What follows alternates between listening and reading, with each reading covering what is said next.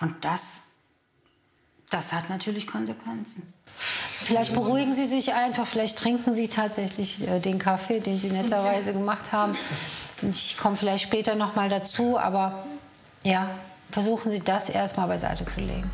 Nach dem Gespräch mit den Eltern vermutet die Familienhelferin, dass Kevins Verhalten mit dem Tod des Opas zusammenhängt. Als sie deshalb nochmal mit dem Jungen spricht, erfährt sie Unglaubliches. Du, ich habe ähm, mit dem äh, Papa gesprochen.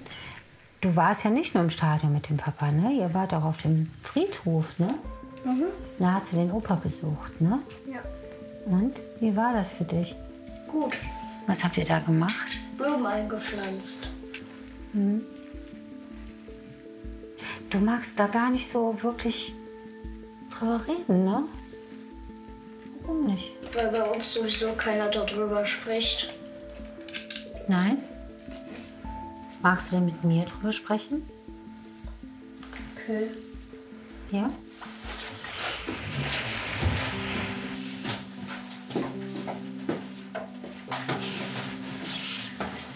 Was ist das? Bild. Ein Bild mit deinem Opa im Freizeitpark? Aha. Schön.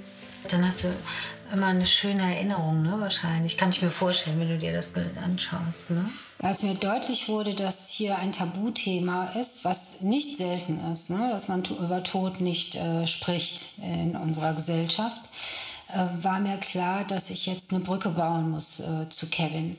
Und ich habe ja immer meine Materialien mit. Unter anderem hatte ich tatsächlich auch ein Fachbuch mit über den Tod. Das schaue ich mir immer auch gerne mit Kindern an, die auch ein Familienmitglied, Geschwisterchen oder so verloren haben.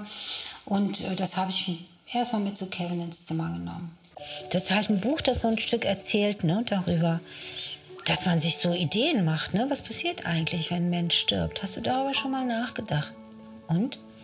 Dann kommt man in den Himmel. Ja, okay. Ja, zum Beispiel, ne? Schau mal hier, eine große Wolke. Was sagst du dazu?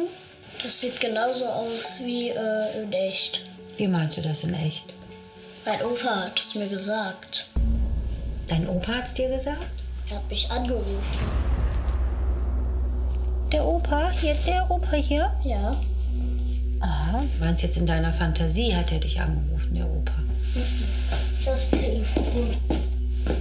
Ist das euer Haustelefon? Und das, das liegt bei dir im Zimmer? Mhm. Ist das vielleicht der Grund, warum du nicht äh, gerne rausgehst? Offensichtlich ist es ja, dass Kevin tatsächlich mit einem fremden Person ähm, spricht, die sich als sein verstorbener Opa ausgibt. Und Kevin hat mit niemandem, wirklich mit niemandem, auch nicht mit seinen Freunden darüber gesprochen. Und das ist schon ein Warnsignal. Er ist ja erst sieben. Mit wem spricht Kevin da? Und deshalb brauchte ich aber auch schon, weil ich ja ein Stück bisschen sein Vertrauen hatte, auch sein Einverständnis, dass ich dieses Geheimnis auch seiner Familie mitteilen darf. Darf ich das Geheimnis mal mitteilen? Okay. Ja? Okay. Dass Kevin angeblich regelmäßig mit seinem verstorbenen Opa telefoniert, ist nicht nur alarmierend, es wirft auch Fragen auf. Wer oder was steckt dahinter? Immerhin könnte der Junge in großer Gefahr schweben, falls sich ein Fremder das Vertrauen des Grundschülers erschleicht. Also es ist so, dass äh, Kevin mir von seinem verstorbenen Opa erzählt hat. Und zwar auch in, in einer sehr lebendigen äh, Form. Ähm, ich habe das Thema ja angesprochen, ne? nachdem ich erlebt habe, wie Sie damit umgehen. Und ähm, er hat auch gesagt, dass er nicht so gerne drüber spricht, weil man auch nicht gerne drüber spricht. Ja, dass der Opa verstorben ist. Deshalb habe ich ihn eingeladen, mit mir zu sprechen. Das hat er auch gemacht und hat sehr, sehr schöne, blumige Bil- Bilder eigentlich auch erzählt. Und vor allen Dingen hat er erzählt, dass er ähm, sein Opa ja im Himmel ist.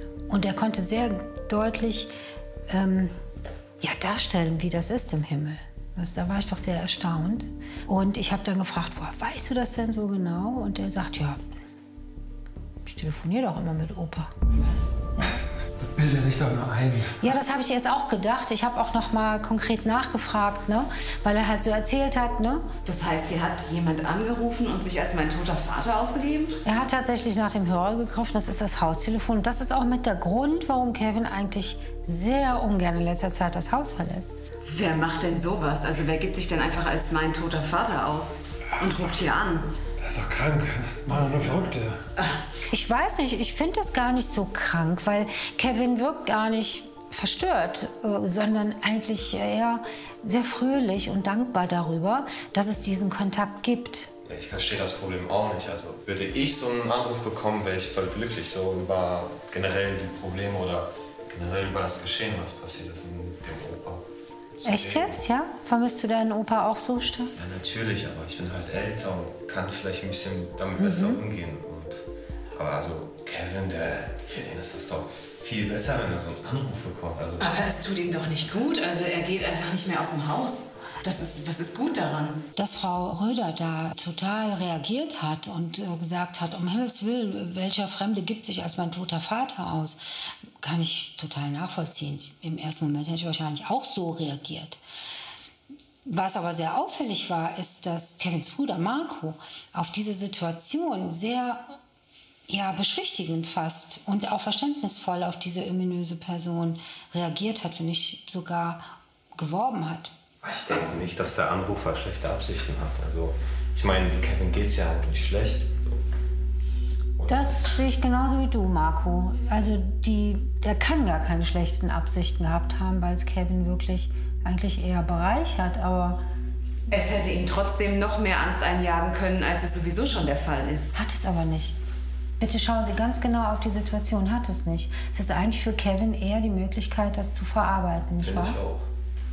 Du stimmst mir da auch zu, ne, Marco? Ja, man sieht das ja doch, wie es ihm geht. So. Warst du eigentlich, äh, hast du das schon mal mitbekommen, dass ähm, Kevin telefoniert hat? Also telefoniert tut er ja immer, aber sonst nicht. Also mit dem Opa habe ich gar nichts mitbekommen. Also ich finde es trotzdem total schräg, dass sich einfach jemand als mein Vater ausgibt und hier anruft. Ja, es ist, es ist eben nicht der Vater. Naja doch, mein Vater, sein Opa. Nein, es ist eben nicht der Vater, der anruft, sondern der Opa, der anruft. Marco? Was hat das zu bedeuten? Ja, komm, was heißt das denn jetzt? Ja, Du hast angerufen. als ich gehört habe, wie glücklich Kevin war, da konnte ich einfach nicht anders und musste wie Opa reden. Ehrlich. Er war einfach. Okay, wa warte mal, Marco, erzähl mal, was, was ist denn genau passiert? Ich habe per Festnetz angerufen und ich wollte dich irgendwas fragen, aber dann hat Kevin aufgenommen und der klang so hoffnungsvoll, weil er mich als unseren Opa vertauscht hat. Und da konnte ich einfach nicht anders, als mit ihm so zu reden, so wie er sich fühlt, wie er sich über diese Trennung zu Opa fühlt. Dann hast du einfach mitgemacht? Ja, da musste ich einfach mitmachen. Er war einfach so glücklich und er konnte auch viel mehr erzählen als vorher. Und ganz ehrlich, so, ihr redet einfach nicht mit ihm. So, ich fand, das war die beste Möglichkeit, mit ihm zu reden. Also, Also du hast das gar nicht, also es war jetzt keine Absicht oder ein Plan, sondern es hat sich ergeben und du hast gemerkt, das tut deinem Bruder gut. Aber du merkst schon, dass wir jetzt hier schon den ganzen Tag im Gange sind, das Problem zu lösen und fragen uns, was das ist und du sagst den ganzen Tag nichts. ja, ich wusste es ja vorher auch nicht, dass es äh, wegen dem Opa, wegen dem Ja, ja, Anrufer das, war. das, das ist schon richtig. Das kann ich auch nachvollziehen. Das ist eine sehr verfahrene Familiensituation gewesen, eben weil ich glaube nicht nur das Tabuthema Tod, sondern weil da sehr viele Themen wohl auch nicht offen miteinander äh, besprochen werden.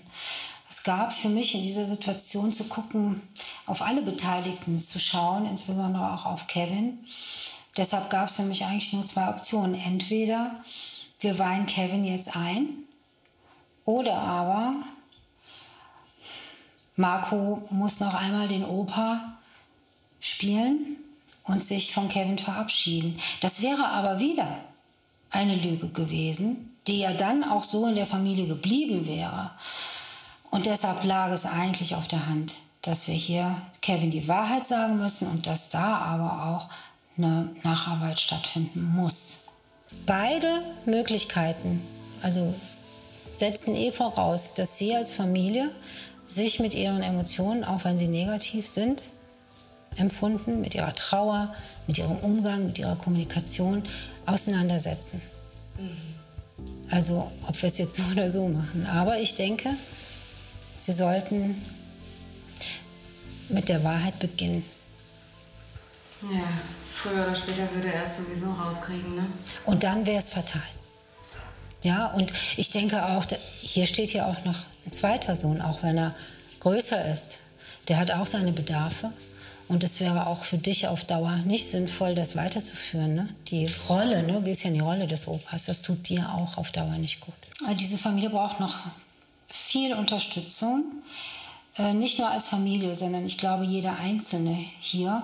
Weil wenn man über Jahre hinweg sein System so aufgestellt hat, dass wir lieber nicht darüber reden, damit Friede, Freude herrscht, als dass wir darüber reden, kann man nicht von, vorn, von jetzt auf gleich den Hebel umdrehen.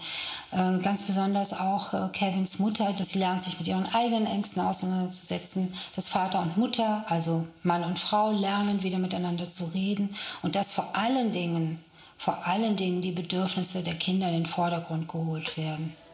Rosella Blumenthal hat Kevin sehr behutsam über die angeblichen Anrufe seines Opas aufgeklärt. In weiteren Gesprächen konnte sie der ganzen Familie helfen, mit dem Verlust umzugehen. Kevin verlässt mittlerweile wieder ganz normal das Haus.